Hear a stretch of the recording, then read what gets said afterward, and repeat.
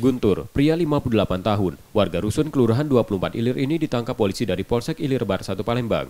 Usai menganiaya petugas parkir di depan pintu masuk Palembang Indah Mall beberapa waktu lalu, hingga mengakibatkan korban terluka serius. Polisi menerangkan, penganiayaan itu dilakukan tersangka menggunakan senjata tajam bersama rekan-rekannya yang masih dalam pengejaran akibat rebutan lahan parkir.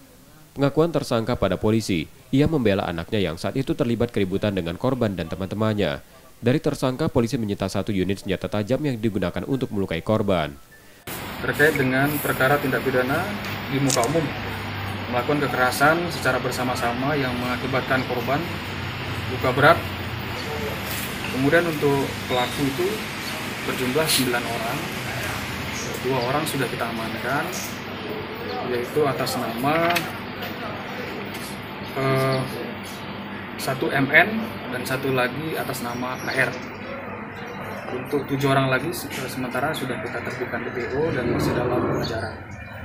Tersangka kini ditahan di tahanan Polsek Ilir Bar 1 Palembang dan terancam hukuman 9 tahun penjara. Reski Oktora, Muklas Diferensial, Kompas TV, Palembang, Sumatera Selatan.